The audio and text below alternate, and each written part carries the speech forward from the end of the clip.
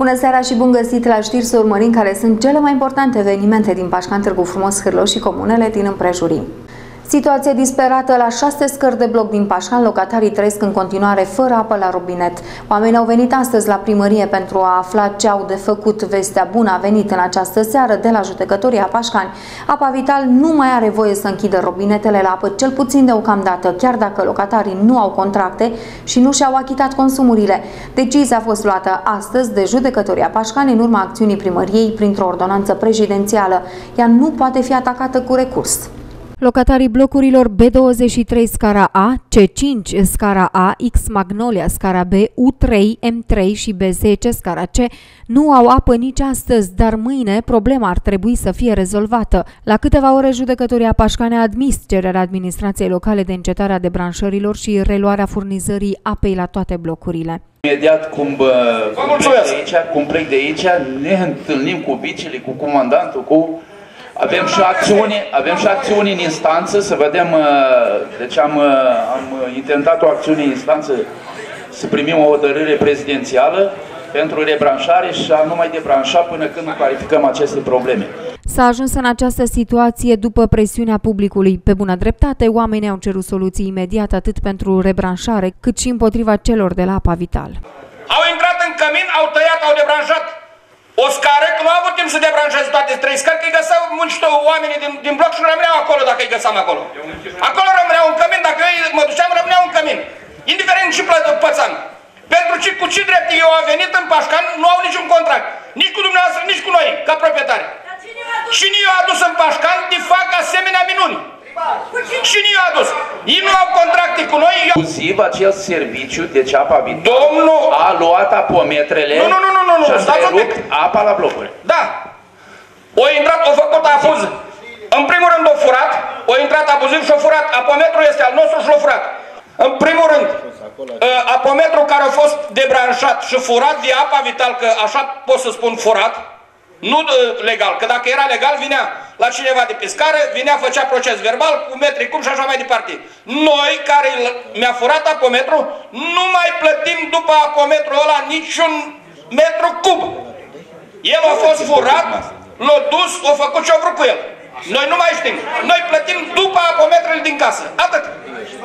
Se plătește după apometru din casă. În rest, ei să speli pe cap cu, cu apometru. Și are acum când va veni, când va veni apa vital sau cine va veni să branșeze, să vină să facă proces verbal cu branșarea din nou și cu metri cub care sunt pe apometru. O altă soluție de avarie a venit din partea consilierului Marius Pintilie. El a cerut primarului să convoace de urgență Consiliul Local pentru înființarea unui serviciu de apă în cadrul primăriei până la delegarea lui unui alt operator. Convocați Consiliul Local, schimbați organigrama primăriei, faceți serviciu de furnizare a apei din cadrul primăriei pe o perioadă provizorie, până ce reușiți să faceți toată documentația pentru ce-o fi, când o fi, că nu se poate să stăm în starea asta de conflict un an de zi. Deci eu vă rog, după ce plecăm de aici, mergeți cu mine la birou, discutăm cu secretarul și... Deci, deci mergem, mergem în birou la mine, mergem în birou la mine și... Deci, dacă la secretar se opresc lucrurile, dumneavoastră trebuie să faceți partea care o aveți. Convocați Consiliul Local, vin consilierii, votăm, schimbăm organigrama, facem tot ce este și o să rămână la domnul secretar semnătura care blochează totul. Să vedem dacă se va întâmpla așa. Dar dumneavoastră faceți demersul ăsta. Facem o cameră cu 10 salariați, îi angajăm provizoriu cum este, da? În replică, primarul Pantazia a spus că propunerea consilierului nu poate fi aplicată pentru că ar însemna să fie încălcate anumite prevederi legale. Organigrama aceasta trebuie aprobată de Agenția Funcționarilor Public. Agenția Funcționarilor Public este cea care aprobă orice post Domnul pe organigrama respectivă și pe statul de funcție. Ce o să se întâmple? Ce poate să fie așa de păi- grav? Ce o să se întâmple? O să fie o amendă? Ce o să fie? O să iasă lumea în stradă, Dar decât să avem... Decât să avem... Deci urcăm sus și discutăm problema aceasta. De fapt, noi am mai discutat-o și în Consiliu. Vă reveniți cu ea. Ușurel, că dacă, dacă nu se rezolvă, s-ar putea să iasă lumea Domnul primar, este o situație de urgență. Deci nu avem o situație oarecare, așa, vrem să facem, avem un moft și angajăm 10 oameni la primărie. Uitați, este o situație de urgență. Menționăm că Apa Vital a anunțat astăzi în cadrul unei conferințe de presă că nu va renunța la acțiunea de debranșare a blocurilor fără contracte la apă.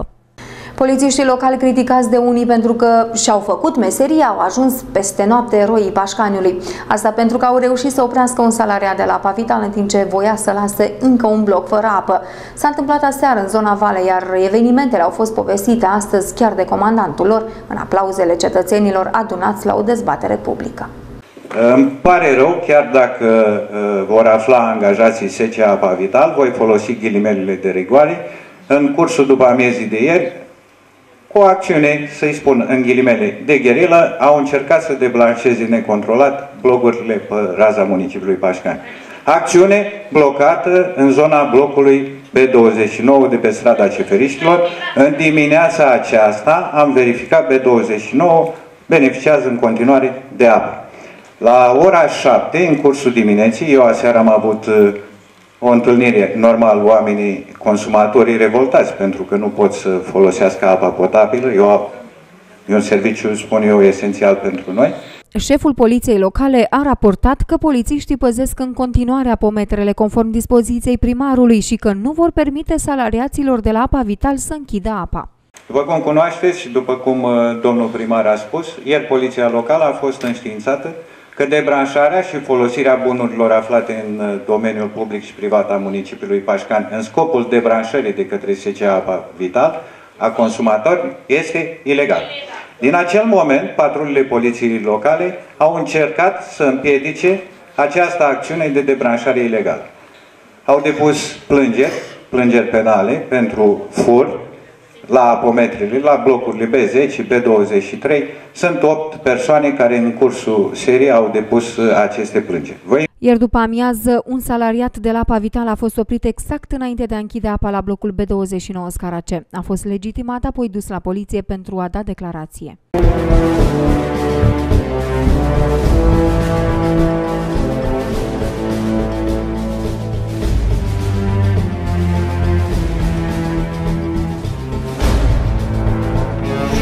Menționăm că mai mulți locatari care au rămas fără apă au depus plângeri penale la Poliția Pașcan pentru furt și tentativă de furt a apometrelor. Este vorba despre sesizări înregistrate până în prezent.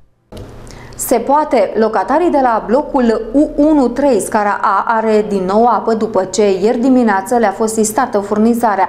După cum spuneau locatarii acestei scări, ședința de aseară între vecini s-a lăsat cu scandal și după câteva ore de discuții contradictorii, cele 12 familii care locuiesc acolo au strâns cele 28 de milioane de lei datorate societății de apă din Iași și au achitat factura pentru cele șase luni, iulie-decembrie.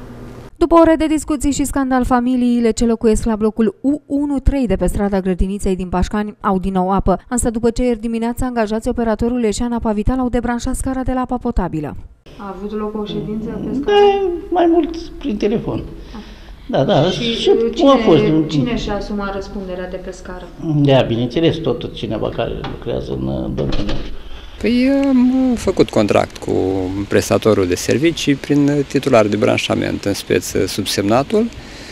Demersul a început încă de pe 7 ianuarie, dar au fost diverse întârzieri, fiind suma mare, până au adunat oamenii banii, deci eu oricum eram pe drumul de a încheia contractul. Soluția la care s-a ajuns a fost aceea de responsabilitatea unui cetățean pe scara respectivă și să încheie contracte pe numele lui pentru toată scara. Asta după ce bătrânii și familiile cu copii au văzut cum e să nu aibă apă. Am rezolvat în cursul zilei de astăzi, chiar un puțin mai înainte. Cu puțină voință se poate. Adică în ce a constat voința? Din partea locatarilor de pe scară a rămas, uh, adică s-a ajuns la ce... Da, da, da. S-a, deci fiecare au contribuit cu suma care a fost uh, de plată și în cursul zilei de astăzi s-a rezolvat problema. Când a strâns banii seara? Aseară.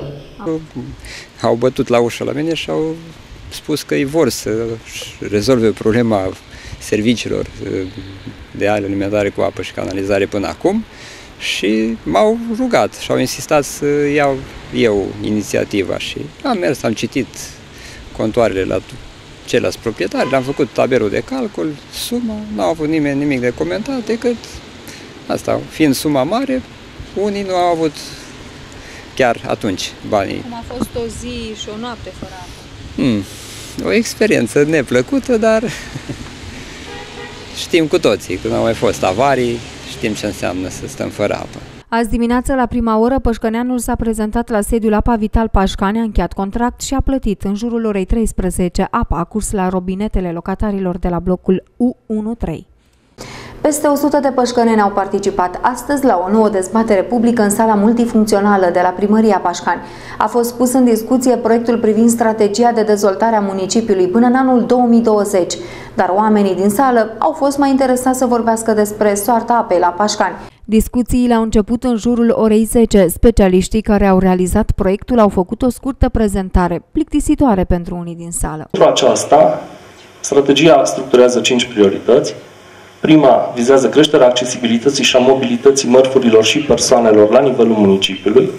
Cea de-a doua prioritate, crearea, creșterea competitivității economiei locale și crearea de noi locuri de muncă. Prioritatea 3, reabilitarea infrastructurii urbane și sociale și furnizarea de servicii publice de bază de calitate. Au urmat intervențiile celor din sală. Un cetățean a spus că s-a plătit prea mult pentru prea puțin. Nu se știe exact cât, 50 sau 70 de mii de lei, cam câte 260 de lei pe pagină. În replică, primarul a spus că strategia de dezvoltare nu este un teanc de hârtie la kilogram.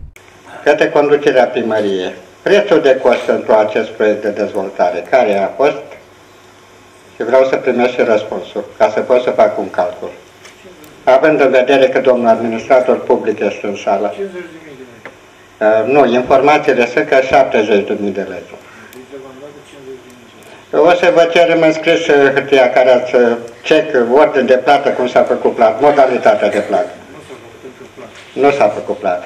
Acest proiect de dezvoltare cuprinde 265 de pagini.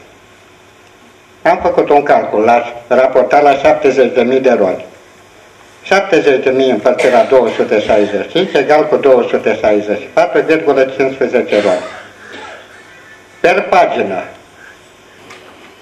Deci domnul Moțatu a făcut un calcul și o pagină de aia a costat 2 milioane de lei.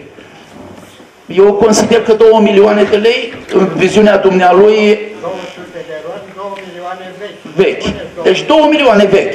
Deci, în viziunea dumnealui, uh, această strategie trebuia să o faceți gratuit și doar uh, noi să cumpărăm, uh, noi am cumpărat de 200 de lei fila de hârtie de la dumneavoastră. În același context, o femeie din Pașcane a cerut intervenția imediată pentru refacerea iluminatului stradal. Ea s-a arătat nemulțumită de modul cum arată orașul. Ca reprezentant al orașului, vă place cum arată orașul nostru? Este exact ca după bombardament, domnule. Una, iluminatul stradal, nu s-a spus absolut nimic. Sunt la prima adunare de genul ăsta, dar nu mai pot să mai îndur. Trebuie, trebuia să spun și eu, vă place iluminatul stradal? Vă întreb și eu, eu vin seara de la servici, sunt aproape singura care mai vin acum seara de la servici, pentru că totul s-a închis, totul s-a restructurat, totul s-a... Așa ea. Mulțumesc lui Dumnezeu, încă deocamdată mai am servici. Înainte de sărbători, acum mai este cum mai este, s-au mai pus o serie de becuri, dar înainte de sărbători a fost teroare. Explanada, N-am văzut-o în viața mea, stau de 40 de ani în orașul ăsta, n-am văzut-o ca înainte de sărbători. Domnule, nu au fost ghirlande, nu au fost becuri că s-au stricat uh, uh, să refaci explanada, dar nu au fost nici becuri, nici la, la stâlpi de iluminat. Un singur consilier a avut obiecții față de proiectul pus în dezbatere. Liberalul Marius Pintilia a criticat lipsa de consistență a strategiei și a cerut măsuri pentru investitori și locuri de muncă. Ce ne doare cel mai mult uh, în Pașcani uh, sunt locurile de muncă și uh, lipsa banilor. Ca să avem locuri de muncă în Pașcan, din punctul meu de vedere, trebuie făcute două lucruri urgente. Unu, să facem o inventariere a terenurilor disponibile din proprietatea primăriei, să vedem ce putem oferi noi investitorilor la Pașcan ca și teren și trebuie să facem o schemă de uh, beneficii pentru acei investitori, în sensul că, domnule, dacă vii la Pașcan și faci o afacere, faci 10 locuri de muncă, îți dăm reducere la taxele locale 30%. Nu un cetățean a solicitat lămuriri despre intenția renovării Palatului Cantacuzino, în timp ce altul a scos în evidență câteva greșeli de tehnoredactare. La pagina obligat de limba română, aș fi vrut să o colez, dar sunteți aici. Albine, ravenat ale râurilor gâșești. Într-adevăr, albi, multe, toate, majoritatea se formează prin ravenare. Dar adjectivul ravenat nu are legătură cu ravenarea. Asta e limba română.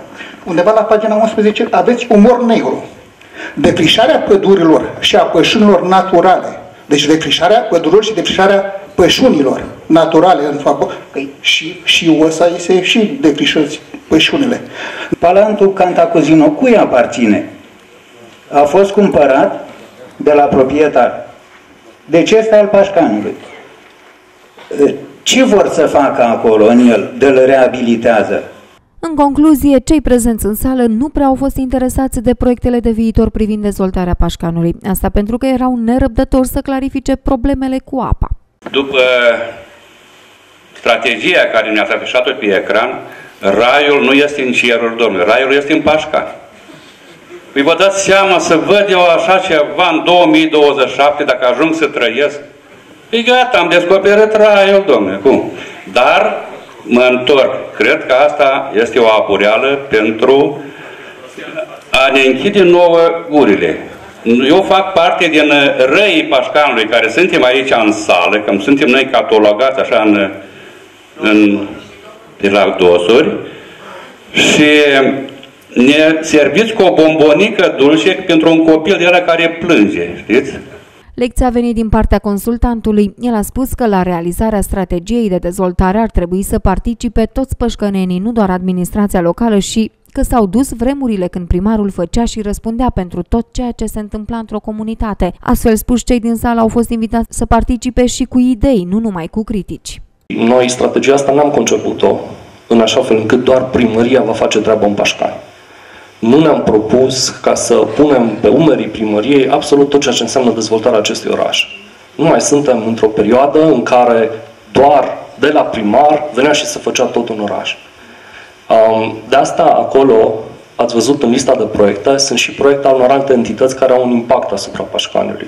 De asta noi am menționat aici că parteneriatul înseamnă parteneriat cu mediul economic, de exemplu, cu investitorii care vor crea locuri de muncă cu uh, administrațiile din alte zone, de exemplu rurale, din uh, jurul Pașcanului. Și atunci aș vrea să vă gândiți că această strategie e în așa fel gândită încât să orienteze eforturile tuturor celor care vor să facă ceva în Pașcani. Primarul Pantaze a răspuns întrebărilor celor din sală și a spus că pentru realizarea investițiilor propuse trebuie atrase surse de finanțare suplimentare de la bugetul local. Revenind la strategie, Strategia înseamnă o viziune pe următorii 7-15 ani, strategie care se încearcă să fie o viziune la ceea ce se dorește a fi peste 7, peste 15 ani pașcani. Pentru a ajunge să avem și să arate pașcaniul așa cum, să zicem, îl gândim peste 15 ani, avem de nevoie de trei ori de bani. Menționăm că documentul ar urma să fie supus dezbaterii publice în ședința de la sfârșitul acestei luni. O vânzătoare din Pașcane a rămas fără încasările de pe o zi întreagă din cauza neatenției. Două persoane au ținut-o de vorbă, în timp ce alții au furat banii din casa de marcat. Polițiștii au început cercetările pentru identificarea hoților. Incidentul s-a petrecut marți în zona centrală, la Pașcani, în jurul orelor 16.30. Femeia în vârstă de 57 de ani se afla la serviciu într-un magazin cu articole de îmbrăcăminte și încălțăminte. Două persoane s-au arătat interesate de o pereche de pantofi și au început să ceară ajutorul vânzătoarei. În același timp, doi necunoscuți au dat iama la casa de marcat. În timp ce vânzătoarea era ocupată să le arate unor persoane mai multe perechi de papuci, câțiva necunoscuți au sustras din casa de marcat o sumă importantă de bani. Hoții au furat 1120 de lei. Femeia a sesizat că au dispărut încasările și a făcut o plângere la poliție. Pentru a evita astfel de situații, oamenii legii recomandă tuturor administratorilor să fie cât se poate de atenți. Cazul sesizat ieri în municipiul Pașcani trebuie să stea atenția tuturor cetățenilor, mai ales angajaților care lucrează în magazine sau alte tipuri de societăți comerciale. Este vorba de un furt comis uh, prin distragerea atenției uh, administratorului dintr-un magazin de articole de îmbrăcăminte, în timp ce două persoane discutau cu vânzătorul referitor la anumite uh, articole de îmbrăcăminte, alte două persoane, profitând de uh, neatenția angajatului, au sustras din uh, casa de bani o sumă de bani reprezentând încasările din ziua respectivă. În cauza a fost făcut un dosar de cercetare penală pentru furt, iar polițiștii îi caută pe făptași. O elevă de clasa 7 a sărit de la etajul 2 a școlii în care învață de frica părinților și a ceea ce urma să se întâmple după ședința programată în această după amiază la școală. Un profesor de sport a încercat să o prindă, însă a fost prea târziu.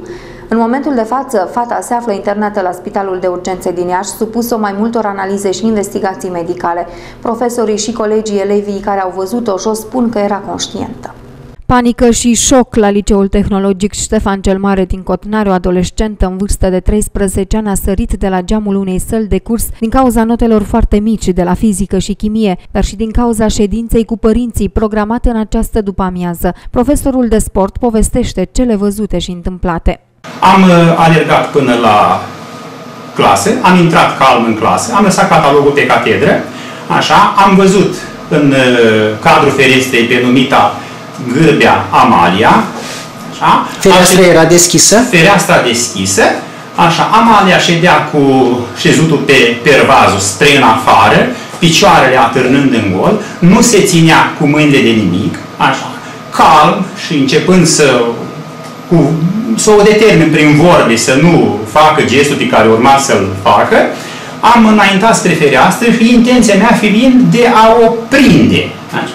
În momentul în care, să zic că mai aveam, dacă mai făceam un pas, aș fi prins-o, așa, s-a uitat, a întors capul, s-a uitat spre mine și a făcut elan și a căzut în gol. Ajuns jos în fața școlii, a reușit să vorbească cu fata. Cadrul didactic spune că era conștientă. La fața locului au sosit și medicii. Am coborât imediat scările, așa, uh, am ajuns la locul faptei, am văzut uh, că era lucid, lucid adică coopera, că am întrebat-o, e bine ce ai făcut acum, așa, uh, coopera, deci am anunțat 112 de serviciu ambulanță de urgență. Directorul unității de învățământ era șocat de cele petrecute în școală. Imediat am fost anunțată de domnul profesor de educație fizică care avea oră la respectiva clasă. Am mers uh, și am discutat cu eleva care era în stare de conștiință și mi-a spus uh, că era frică de ședința cu părinții care urma să aibă loc la orele 14, din cauza unor note rele.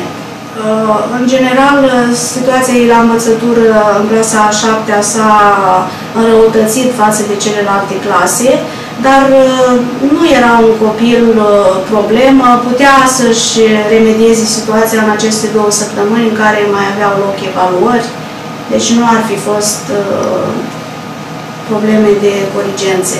Specialiștii cred că frica de părinți a fost cea care a declanșat criza de panică. Ei spun să fie mai înțelegători și mai puțin exigenți cu copiii lor, mai ales când aceștia întâmpină dificultăți. De cealaltă parte, profesorii ar trebui să nu țină cont de astfel de situații în evaluarea elevilor, tocmai pentru a nu crea un precedent.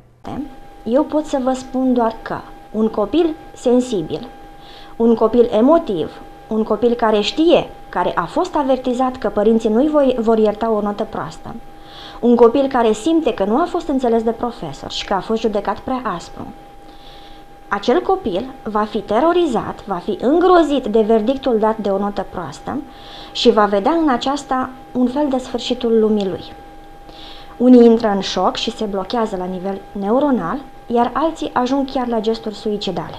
În școală a fost demarată o anchetă, iar cei de la inspectorat au rămas surprinși de gestul elevului. ISJ monitorizează ancheta, dorind să aflăm detaliile, contextul educațional și familial care a condus la acest gest extrem. Școala și familia trebuie să aibă în vedere în comunicarea cu elevii vulnerabilitatea specifică preadolescenților, care în contextul unor presiuni psihologice generează labilitate emoțională, afectivă, care poate să conducă la reacții necontrolate, a declarat Sabina Manea, purtătorul de cuvânt al Inspectoratului Școlar Județean Iași.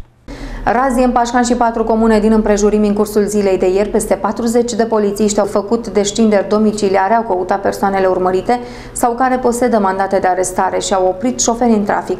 În urma acțiunii, o femeie și un bărbat au ajuns după gratii. Pașcaniul și comunele Moțca, Miroslovește, Ruginoasa și Mogoșesiret au fost împânzite ieri de polițiști. Au fost controlate șase societăți comerciale, aproape 60 de mașini, iar 48 de persoane au fost legitimate. Totodată, două persoane au fost băgate după gratii, iar un minor a fost identificat ca fiind autorul unui furt dintr-un magazin. Ca și rezultate concrete ale raziei uh, efectuate în municipiul Pașcan și zona adiacentă, a fost identificat un tânăr de 15 ani, despre care s-a stabilit că este prezumtivul autor al unui furt comis în urmă cu câteva zile din incinta unui magazin de unde a sustras un telefon mobil. Totodată, polițiștii au identificat și două persoane, respectiv o femeie din Pașcan și un bărbat din comuna Ruginoasă, pe numele cărora existau mandate de executare a pedepsei cu închisori emise de instanța de judecată. Cei doi au fost uh, depistați și apoi introduși uh, în penitenciarul Iași pentru a-și ispăși, ispăși pedepsa. În urma raziei de ieri au fost date 71 de sancțiuni în valoare de peste 10.000 de lei. Au fost reținute două permise de conducere și două certificate de înmatriculare. Menționăm că acțiunile vor continua și în următoarele zile și în alte localități. Dacă te gândești să-ți expui mașina spre vânzare pe străzile din Pașcani, ar fi bine să o faci de două ori. Potrivit unei hotărâri de Consiliu Local, acest lucru este interzis în oraș, iar proprietarii riscă să primească sancțiuni. În această situație este și un bărbat din comuna Sirețel care și-a expus mașina spre vânzare în fața supermarketului Profi din centrul municipiului. Polițiștii l-au identificat și l-au somat să-și ia autoturismul din zona respectivă. Localnicul s-a ales doar cu avertisment pentru că a răspuns prompt solicitărilor oamenilor legii. Ce persoana în cauză a fost cooperantă și a înțeles să-și ridice autoturismul, respectiv să nu mai fie expus pentru vânzare, a fost sancționat cu avertisment contravențional scris. Este un caz fericit, însă potrivit unei hotărâri aprobate de Consiliul Local, proprietarii se pot alege cu amenzi cuprinse între 500 și 1000 de lei. Conform actului normativ amintit, expunerea spre vânzarea mașinilor pe spațiile publice, pe raza municipiului nostru, este interzisă și se sancționează cu amendă de la 500 la 1000 de lei. Chiar și pasibil de amenzi, unii șoferi încă se încumetă să-și expună mașinile, de obicei prin centrul Pașcaniului. Chiar dacă șoferii pot fi amendați, chiar acum în centrul Pașcaniului sunt expuse spre vânzare trei mașini, un BV, un Fiat și un Renault. Menționăm că astfel de acțiuni vor continua și în următoarea perioadă, în special pentru eliberarea locurilor de parcare care sunt ocupate fără drept de vânzătorii de mașini. 200 de lei pentru o înjurătură. Atât a primit amendă un bărbat pentru că s-a comportat urât cu o femeie, a înjurat-o și a amenințat-o în plină stradă. Cei care au sărit în ajutorul pășcănencei au fost trecătorii care au sunat la 112. Polițiștii locali au ajuns la fața locului pe strada 24 ianuarie și l-au liniștit. Vasile Onofrei din Cristești a fost amendat cu 200 de lei. În data de 15 ianuarie, la ora 20, numitul Onofrei Vasile din comuna Cristești Aflându-se sub influența băuturilor alcoolice, pe strada 24 ianuarie din municipiul Pașcani, a proferat injurii, cuvinte pornografice, jignitoare, precum și amenințări cu acte de violență la adresa unei persoane de sex feminin, fapt ce a adus la indignarea cetățenilor, care au și apelat sunând la Serviciul Național de Urgență 112. Acest cetățean a fost sancționat contravențional cu o amendă în sumă de 200 de lei, conform prevederilor legii 61 din 1991. Se știe că la o amendă plătită în 48 de ore scap cu jumătate din minim. În cazul injuriilor, expresiilor jignitoare sau vulgare, prevederea nu mai este valabilă, așa că aveți grijă ce scoateți pe gură pentru că vă poate costa până la 200 de lei. Cartier rezidențial cu vile de lux și condiții mai proaste chiar și decât în cel mai uitat sat din România. Asta este zona aerodrom din Pașcani sau Dallas, așa cum este denumit. Străzile sunt aproape impracticabile, pline de gropi, nu este canalizare, iar branșamentele pentru apă sunt făcute de oameni, fiecare cum a putut. Au trecut mai bine de 20 de ani de când administrația locală a făcut promisiuni pentru modernizarea zonei, însă neonorate. Cartierul Aerodrom din Pașcani este cartierul contrastelor, chiar dacă peste tot sunt vile de lux aflate în proprietatea unor persoane importante din oraș, străzile arată ca după război. Sunt cratere imense, iar asfalt nu s-a turnat niciodată pe unele tronsoane. Șoferii abia circulă în zona respectivă cu frica de a nu rămâne împotmoliți sau să nu-și strice mașinile. La momentul ăsta aș putea spune că nu sunt mulțumit pentru că, deși a trecut o perioadă foarte mare de la Revoluției, ele au rămas așa ca așa cu 20 de ani. M-aș bucura dacă în perioada următoare autoritățile locale ar găsi soluții și să modernizeze, să asfalteze și drumurile din zona aerodromului, unde se regăsesc foarte multe locuințe și accesul este destul de greoi. Mai mult decât atât, pe marginea mai multor străzi sunt grămezi de pământ scoase de oamenii care și-au făcut fose. Totodată în fața unei case, chiar în mijlocul drumului, este și un cămin de canalizare ridicat aproape jumătate de metru față de nivelul solului. Case de lux, mașini de lux și o stradă care arată ca după război. Mai mult, în mijlocul drumului se află și un cămin și o movilă de pământ.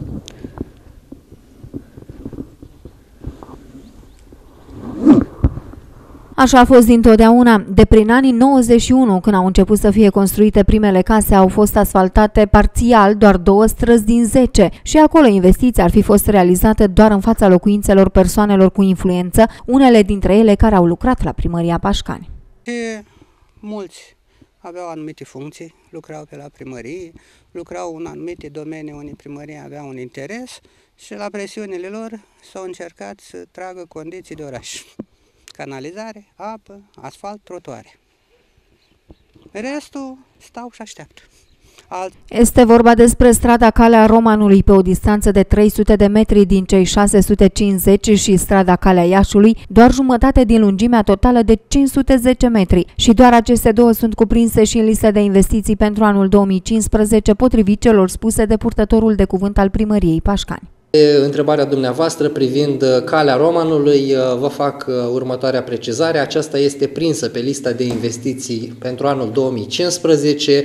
Se așteaptă în momentul de față rezultatul unei expertize tehnice, iar în funcție de acest rezultat vom vedea care este soluția cea mai bună și cea mai rapidă pentru asfaltarea și modernizarea acestei străzi. Tot aici se vor face și lucrări de canalizare. Restul caselor din cartier vor rămâne ca și până acum, cu fose septice. Sunt, unele sunt case de lux, alte sunt case normale, case modeste, din sudoarea fiecăruia.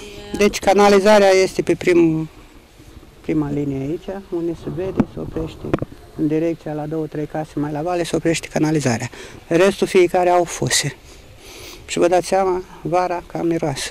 Deci, nu sunt condiții de, de oraș. Apă fiecare și-a tras cum a putut, au pus mulți locuitori bani mână de la mână, au săpat șanțuri, unii au închiriat utilaje și au tras apă fiecare cum au putut. Fără nicio investiție, fără niciun proiect, fără nimic, din partea primăriei.